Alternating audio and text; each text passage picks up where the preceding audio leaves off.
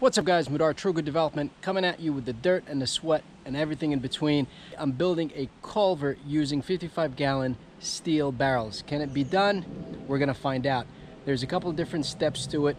Number one, we gotta take the lids off of the barrels. Uh, so I'm using a grinder and a Sawzall. I'm gonna show you the easiest way to get that done. Then we're gonna find out if we can weld these barrels together using an arc welder. That's an electric welder. So not a high grade welder. Honestly, I got a cheapie and we're gonna see if that works. If that works, it's a slam dunk. The final step will be to paint those barrels in galvanized paint to resist corrosion and rust for years to come. So stick around, let's see if we can make it happen. All right guys, so this is my setup. Love working outside. I don't have to worry about keep everything clean. So it's kind of a mess right now. I have this big giant project.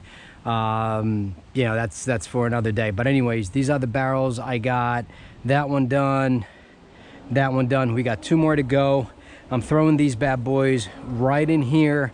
As you can see, I have some erosion going on. So I'm gonna throw all this dirt back uh, there and that will create a nice uh, sort of bridge to go uh, from here to there. But anyways let's get right to it. So far what's working for me is a combination of the grinder and the sawzall.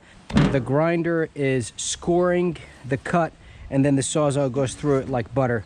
Make sure you get your safety stuff on. Got gloves ear muffs uh, if you have glasses you should put them on um, as well. And here we go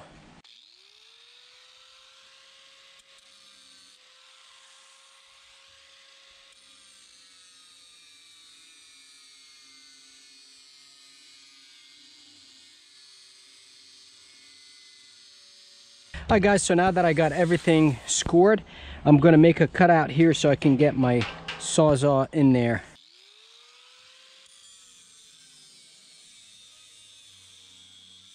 That should be enough right there. Obviously, as you can see, you can go ahead and cut the whole thing with this. I just find it easier and quicker to do it with the Sawzall. Now remember, when you're using this grinder, make sure you're using the right wheel. This is a metal cutting wheel. For your Sawzall, you also want to make sure you're using a metal saw. Also, make sure your cleat makes contact with the material so your saw is not all over the place.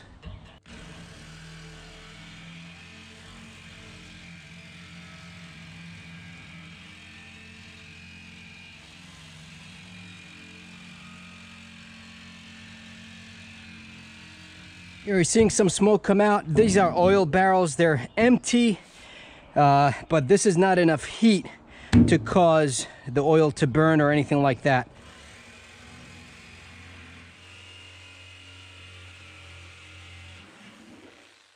Next step, we're gonna clean, grind this out so it's ready for welding.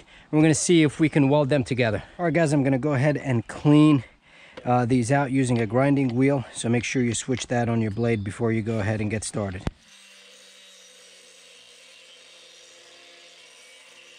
Okay guys, I'm all finished with cleaning the edges of these barrels where I'm gonna mount them together and weld them.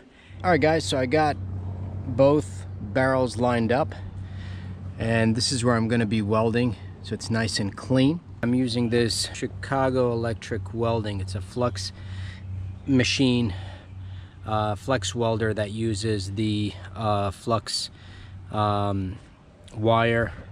Um, this one particularly takes 0.30 to 0.35 uh, gauge wire. Tells you all about it here.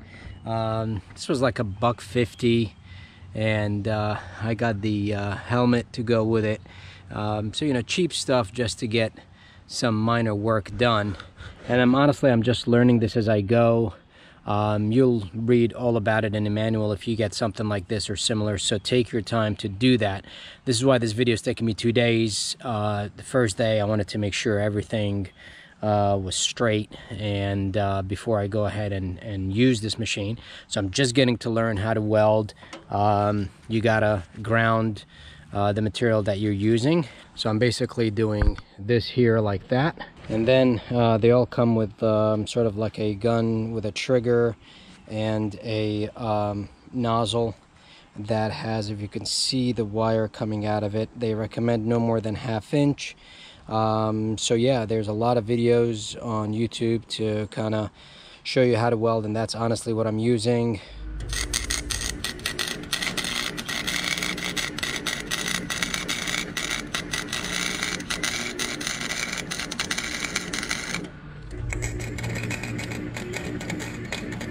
All right, guys, I got my two sections lined up. This was a pain because you really obviously have to have as small of a seam as possible.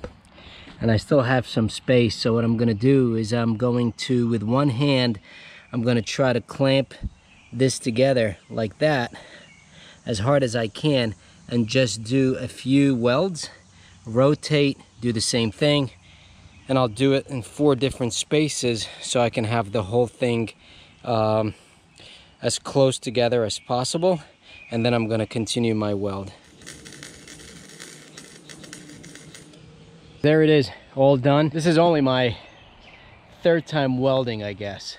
And, uh, you know, it takes time this video is not to teach you how to weld just to share my experience. It is about building this culvert and the idea behind it. We're going to do some painting next. It's going to look great. All right guys paint time. For this i'm using rust-oleum stops rust.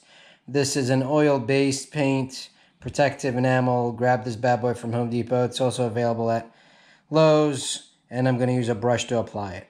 I went ahead and cleaned everything. I used a i used a brush and a rag I got my paint ready. Make sure you mix your paint before you get started.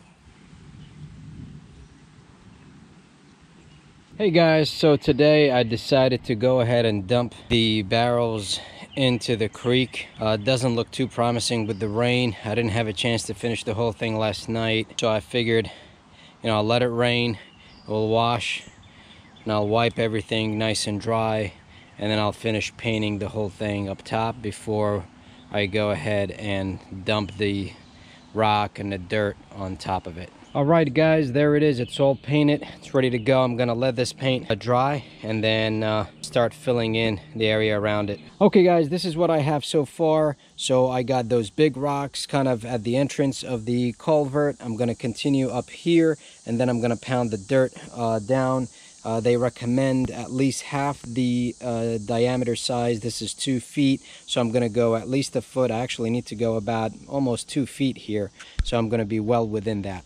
And there you go, guys. I hope you liked the video. A word of caution, this is steel uh, drums. These are steel drums, so they will uh, possibly corrode. Again, I did paint mine. I did not paint the interior. So again, this video is just to give you an idea of how to do this if you decide to do it from steel drums.